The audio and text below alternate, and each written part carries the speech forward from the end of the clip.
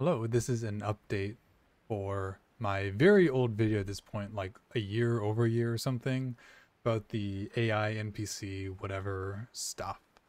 Um, I kind of took a break. I've been on and off of that here and there, but recently with the trend of like AI getting so popular, uh, I wanted to get back into it and really maybe change what I was doing to be something that is a little bit more, I don't know, interesting to me or fun.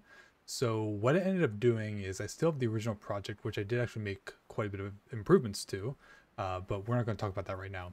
Uh, this is a another branch of that same project I'm working on, and what this is is an AI VTuber.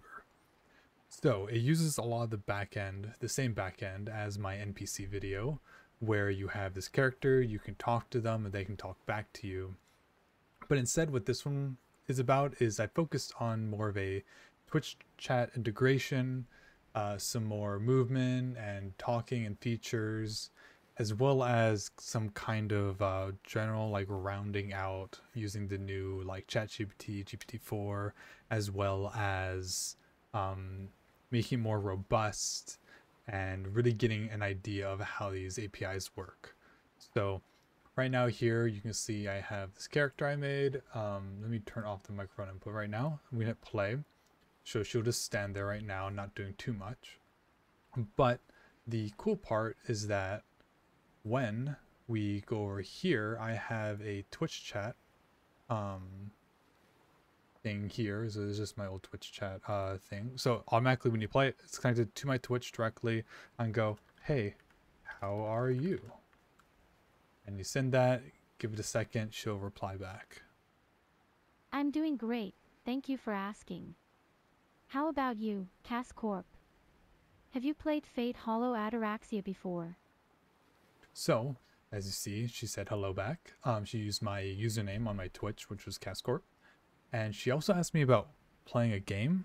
Uh, that's because right now she's set up so that she's playing a certain game. Because my eventual goal is to have her at least kind of slightly automate playing games, or I can play the game and she can do all the commentary for me, just for fun. Right here, the current game is Fate Hollow Ataraxia, which is a visual novel. I had a fun idea where, you know, we have these visual novels, and of course, there's such things as audiobooks, where, you know, you just have someone that reads you the novel. Uh, but visual novels are kind of cool because there's a visual element to it as a visual novel.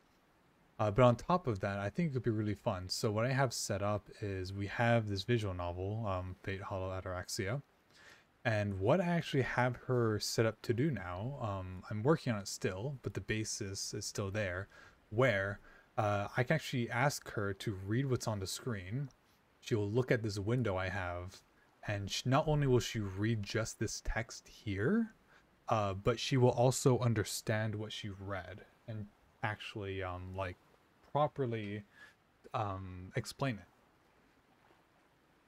So, let me get my phone quick, and I'm gonna go to my Twitch and message and say, um, can you read what's I'm really enjoying this game so far.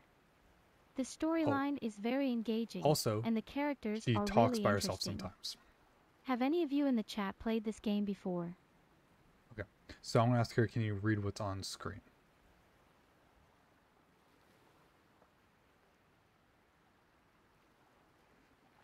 It must be the sun. I feel a bit dizzy. Since it's rare to meet Saber at the harbor, I ended up pondering about hometowns and things completely outside of my character. How ataraxia? Okay, there you go. So now she actually read what was on there. Uh, there's a little bit at the end I, I missed, which is this, but she got the main part and that's good. So the cool thing about this is we can actually ask her now and ask it in the Twitch chat and say, can you explain what you just read? So I can go over here and do, can you explain uh, what you were just reading on the game?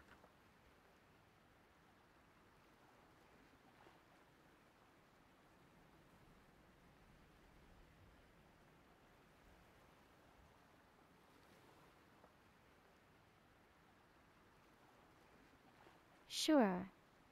The text that you just saw is a line from the game Fate Hollow Ataraxia.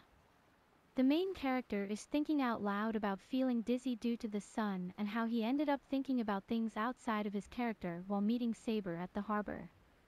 It's a moment where the character is experiencing a bit of a mental break due to the situation he finds himself in, and it's interesting to see how he reacts to it. There you go. So she also uh, explained an interpretation of how you take the scene. And the cool thing is I can keep having her read it and it'll go through and build up more context for her to use.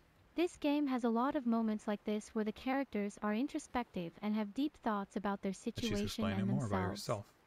So it's one of the things I really Yes. love about this game. Have any of you we're gonna pause her. Um, yeah, so that's what I have right now. Um, it's not too much more if you look at the previous video, but I think it's really interesting. Um, the way she does the image, it does it all like image recognition AI uh, that uses more cognitive services from Microsoft stuff. Um, yeah, uh, my plan is eventually for her to be able to kind of sit and read through these visual novels on her own, like completely independently uh, which would be really cool. Uh, it's a lot of like specific programming for certain scenarios, but my goal with this is to make it as general as possible. Uh, and eventually, it would be fun to maybe like let Twitch chat play a game, and then she can talk about what they're doing and do all that stuff for me.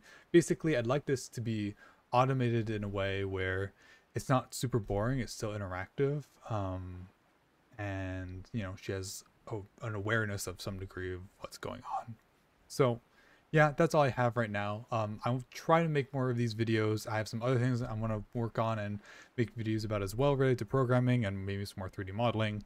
Uh yeah i'm going to be running more often so keep an eye out. Tell me what you want me to show. Uh tell me if you want me to try some stuff out. Um unfortunately i can't make this a public repo because there are paid assets and such in here. I could make parts of the code available, maybe.